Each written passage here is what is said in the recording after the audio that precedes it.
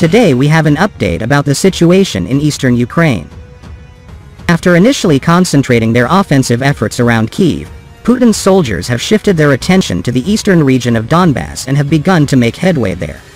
Russian forces reportedly are now in control of about 80% of the region but the fighting is still ongoing in the area. News reports from the Ukrainian media said that the country's armed forces have once again destroyed a Russian military convoy using American-donated artillery.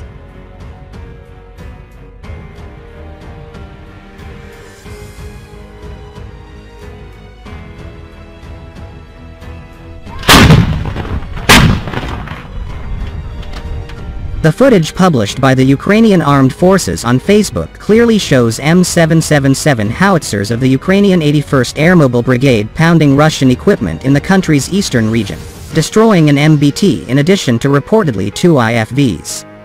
The M777 howitzers have been used effectively by the Ukrainian army. Earlier this week, Ukraine's National Guard also destroyed three of Russia's MLRS multiple rocket launch systems using the howitzers. The MLRS, rocket launchers that are mounted on self-propelled vehicles, were destroyed in the area around Severodonetsk, a strategic city in eastern Ukraine. The country's defense ministry shared a video on Twitter early Monday with the footage attributed to Ukraine's Special Operations Forces. The footage showed an aerial view of the Russian MLRS sitting immobile on a stretch of land, and then going up in smoke and flames after being struck. Its intelligence provided by the country's Special Operations Forces allowed the National Guard to successfully destroy the Russian MLRS, the ministry said.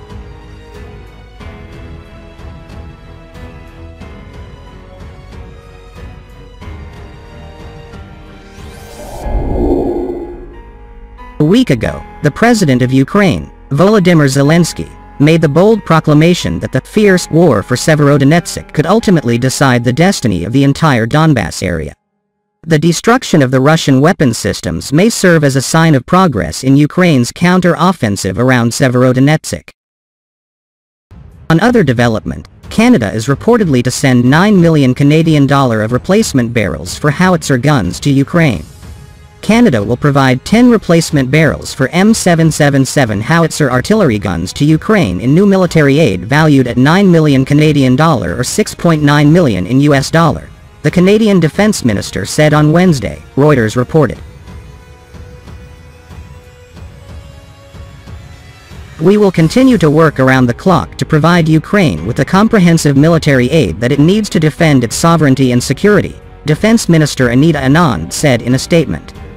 Canada donated the M777 howitzers to Ukraine earlier and the replacement barrels are needed to maintain their distance range and accuracy.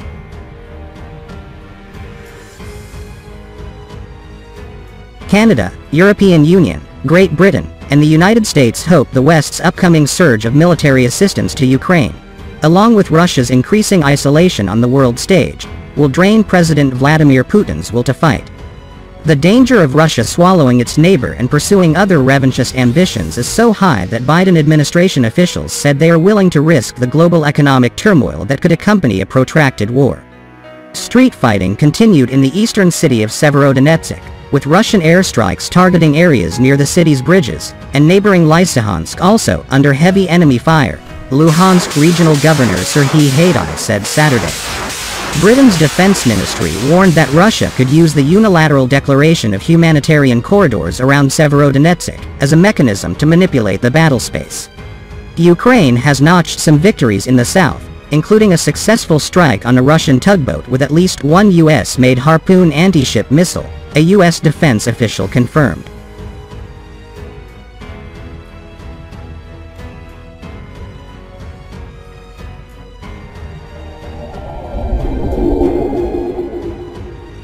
Land-based anti-ship missile sank a Russian Navy tugboat unloading air defense missiles and service personnel on the Russian Federation-occupied Zmeny Island, in the northwest Black Sea.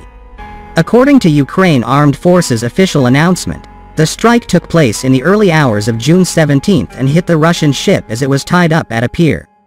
The naval forces of Ukraine have destroyed yet another, nothing like it anywhere in the world system, this time aboard a tugboat carrying a Tor anti-aircraft system.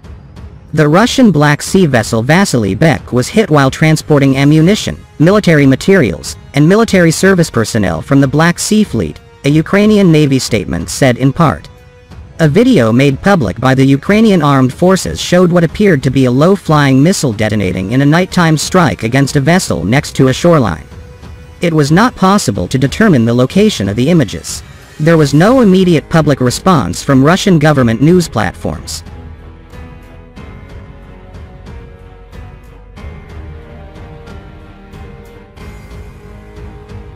According to news reports, the Vasily Bek weighed 1,605 tons and became a logistics and support ship for Russia's Black Sea Fleet in 2017. Maxim Marchenko, head of the Odessa Regional Defense Command, said a US-built Harpoon anti-ship missile had struck the tugboat. The US and Denmark have made public their delivery of Harpoon missiles to Ukraine. Some Ukrainian social media news channels claimed on Friday, June 17, without offering evidence, that the weapon used was a British-delivered Brimstone anti-ship missile. The RGM-84L4 Harpoon Block 2 missile, which Danish and Ukrainian media outlets had reported as operational in Ukraine in May, is a NATO standard long-range weapon with a reported range of 300 kilometers. Unlike the Brimstone, a lighter, short-range missile designed to take out motorboats and small commercial vessels, the Harpoon's primary mission is to sink major warships. Ukraine's version of the Harpoon, the domestically developed Neptune missile, critically damaged the missile cruiser Moskva, the Russian Black Sea Fleet's flagship, in a nighttime strike by two weapons on April 13. The Moskva had been patrolling near Zmeny Island and sank on April 14. More than 300 sailors and officers on the Moskva reportedly died from injuries or drowning. Kremlin spokesmen have repeatedly denied the Ukrainian armed forces' involvement, claimed the Moskva had an accidental onboard fire and then sank in a storm, and that the vast majority of the crew were saved. Multiple international news sources and military analysts have said Ukrainian missiles sank the warship with a major loss of life.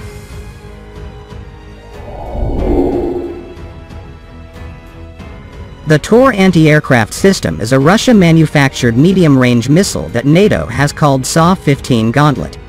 Since Russia's capture of Zemini in the first week of the war the Kremlin has, according to satellite photographs, systematically fortified ground and air defenses on the island. The armed forces of Ukraine have attempted to block the Russian forces buildup by using combat jets and missile-armed drones, but strong Russian troops' air defenses and very limited numbers of Ukrainian attack bombers and strike drones have not seriously degraded the Russian troops' defenses on Zmeny. Located near the Danube Delta and sea routes between Ukraine and the Mediterranean Sea, Zmeny Island, along with air and naval units operating in its vicinity, is a key piece of Moscow's sea blockade strategy against Ukraine. Russia has threatened to use its military forces to attack any ship moving to or from Ukrainian ports, preventing Ukrainian grain from reaching international markets by seagoing ships, and importing fuel and weapons from reaching Ukraine by sea. According to regional security analysts, the US and Danish-sourced Harpoon missiles and launchers in Ukrainian military hands could, if deployed in sufficient numbers, undermine or even break Russia's sea blockade of Ukrainian seaports by forcing Russian warships out of western Black Sea waters within the range of Harpoon missiles, and leaving Zemini Island isolated and vulnerable to attack by Ukrainian armed forces.